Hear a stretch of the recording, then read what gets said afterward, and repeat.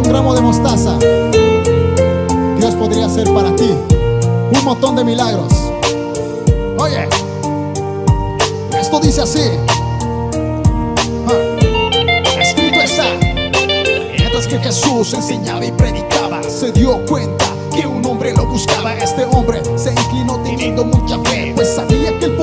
era solo de él. Este hombre llamado Jairo conocía al maestro que lo llamaban el gran Mesías. Con gran dolor se acercó a él con mucha fe y derramando lágrimas. Le dijo también, maestro, mi hija está ya por morir. Si la tocas con tu mano, yo sé que podrá vivir. Y Jesús se levantó y Jairo lo llevó. Y detrás de ellos mucha gente lo siguió. Y he aquí que una mujer se levantó con una enfermedad que le daba un gran dolor. Pues hace 12 años con eso diciendo que si lo tocara sería sana, sabiendo que si intentaba no perdía nada, conociendo que Jesucristo era el Mesías, acercándose a Jesús. Y sí misma se decía, si tocaré solamente el borde de su manto, Jesús me sanaría, ya no tendría llanto, yo estaría sana y restaurada con el poder del Maestro sería salva. Después la fe, la certeza de lo que se espera y la convicción de lo que no se ve. Dice, porque si tú tuvieses fe como esta mujer y si tú tuvieses fe como Jairo tuvo también, la fe es la que te sana, la fe la que te salva, la fe la que restaura y la que mueve montañas. Y si tú tuvieses fe como esta mujer y si tú tuvieses fe como Jairo tuvo también, la fe la que te sana, la fe la que te salva, la fe la que restaura y la que mueve montañas. Jesús se dio cuenta de lo que estaba pasando y se paró diciendo, ¿quién tocó mi manto? La mujer se dio cuenta de que ella estaba sana y le dijo al maestro,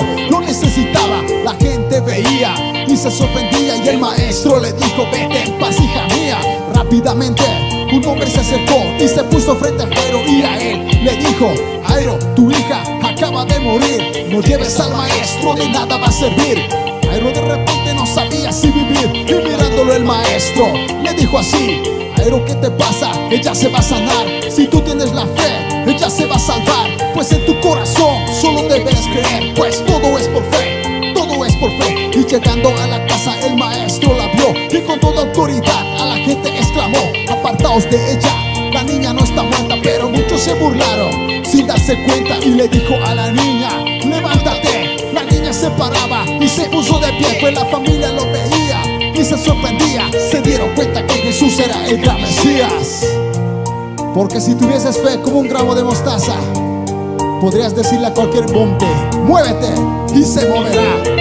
Oye, porque si tú tuvieses fe como esta mujer, y si tú tuvieses fe como Jairo tuvo también, la fe la que te sana, la fe la que te salva, la fe la que restaura y la que mueve montañas. Y si tú tuvieses fe como esta mujer, y si tú tuvieses fe como Jairo tuvo también, la fe la que te sana, la fe la que te salva, la fe la que restaura y la que mueve montañas. Y si tú tuvieses fe como esta mujer, y si tú tuvieses fe como Jairo tuvo también, la fe la que te sana, la que te salva, la que restaura y la que mueve montañas.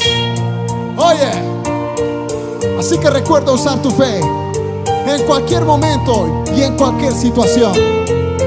Pero mi querido hermano, también recuerda que la Biblia dice que sin fe es imposible agradar a Dios. Muchas gracias. Ese fuerte aplauso a Jesucristo, el único que se merece toda la honra, la gloria. Amén.